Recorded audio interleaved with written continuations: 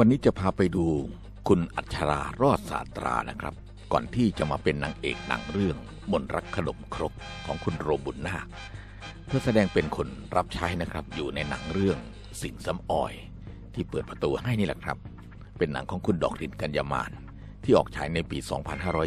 2520 นี่นางเอกคุณมายุราธนบุตรและข้างๆ ก็คือคุณโฉมฉายฉัดวิไลนะครับ เข้ามาบ้านตนเอง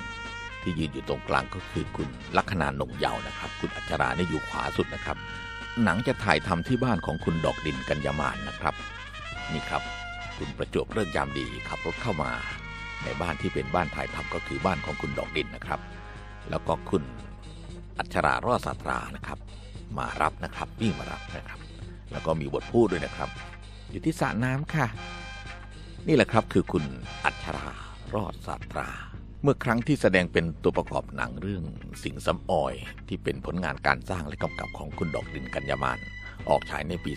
2520 นะครับ และต่อมาในปี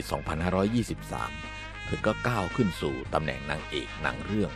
มนรักขนมครกนะครับ เรื่องเดียวก็มีคนจดจำเธอได้เลยนะครับ